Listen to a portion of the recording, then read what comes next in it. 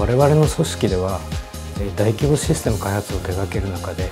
長年培ってきたシステムやノウハウが膨大となり点在しているという課題がありましたこれを改善するため利用者や管理者の日々の作業を効率的にするとともに発生する開発プロセスの変更にも素早く対応できるよう SOA で連携したシステム基盤の構築を検討し取り組みを始めています。その中でナビゲーションプラットフォームはシステム開発の作業に関するワンストップの窓口となるようシステムに活用しています。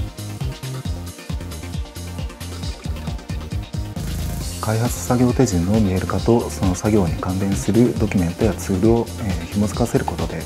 今まで点在してきた基準書やツールが見つけやすくなりました。また、え作業の全体概要や類事項のポイントを分かりやすく表示したり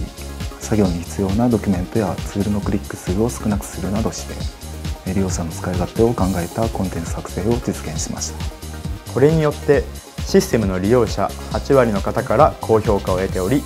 プロジェクト内でもこのシステムが定着してきています。ナビゲーションプラットフォーム上で処理できる業務メニューの拡大と他システムを SOA で連携したシームレスな開発作業環境の構築を目指していきたいと考えていますまた同様のノウハウの供給という課題は中規模のプロジェクトでも抱えておりプロジェクト規模にかかわらずナビゲーションプラットフォームが導入できるようクラウドによるサービス提供などユーザーの選択肢を増やしていただけることを期待しています。